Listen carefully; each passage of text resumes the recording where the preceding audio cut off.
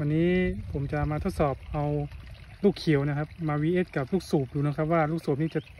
จะเกิดเป็นยังไงบ้างครับ จะแตกออกมาหรือไม่ครับจะทนแรงกระแทกขนาดนี้ได้หรือไม่นะครับ เริ่มจากลูกลูกแดงลูกเล็กนะครับ